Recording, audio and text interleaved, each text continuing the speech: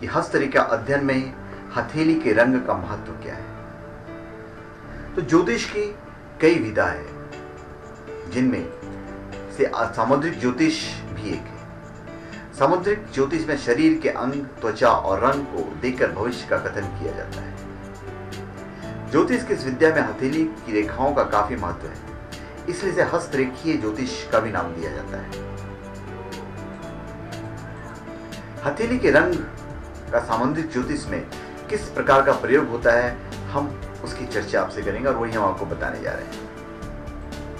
भविष्य जानने की चाहत में आपने किसी हस्तरेखा पढ़ने वाले से अपना हाथ दिखाया होगा, या फिर लोगों को ऐसा करते देखा होगा। आपने सोचा है कि हस्तरेखा पढ़ने वाली हमारी हथेलियों को देखकर भविष्य कैसे बताते हैं?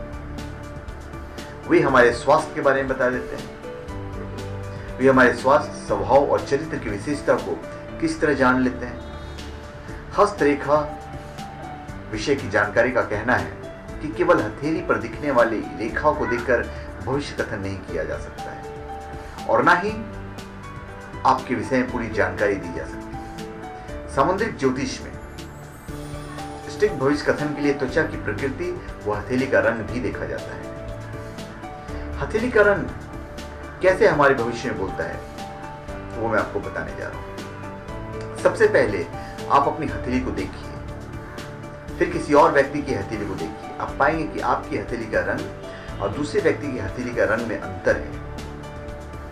हथेली के रंग को देखकर हस्तरेखा से भविष्य बताने वाले आपके स्वास्थ्य और स्वभाव के विषय में बताते हैं। जैसे आपकी हथेली का रंग बहुत ही पीला है तो हथेली का रंग कहता है कि आप आपके शरीर में रक्त की कमी है बस की संभावना है।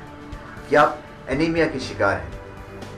आप स्वभाव से स्वार्थी हो सकते हैं।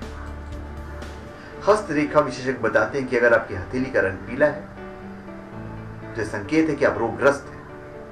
आपके शरीर में पित्त दोष है। यह बयां करता है कि आपका स्वभाव चिड़चिड़ा है। अगर आपकी हथेली लालिमा लिए हुए है तो इस बात का इशारा है कि आप ब्लड प्रेशर की समस्या से परेशान हो सकते हैं।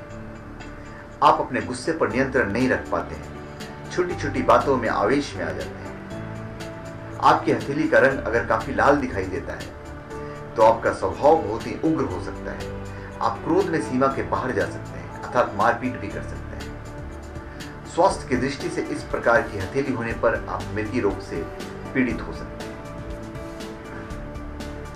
आपकी हथेली का रंग गुलाबी और चित्तीदार है तो हस्तरेखा विज्ञान के अनुसार आपका स्वास्थ्य सामान्य है और आप आशावादी और खुश मिजाज व्यक्ति अगर आपकी हथेली का रंग नीला है तो आप यह समझ सकते हैं कि आपके शरीर में रक्त संचार की गति धीमी है और हो सकता है कि आपके अंदर आलस्य की भावना हो। इस शास्त्र के अनुसार हथेली का रंग गुलाबी है तो स्वास्थ्य एवं स्वभाव दोनों ही दृष्टि से अत्यंत उत्तम है। तो आपने ये जाना कि हथेली का रंग देखकर स्वभाव और स्वास्थ्य दोनों का रंग पहचान सकते हैं। तो चलिए, आप अपनी हथेली को देखिए। तो धन्यवाद।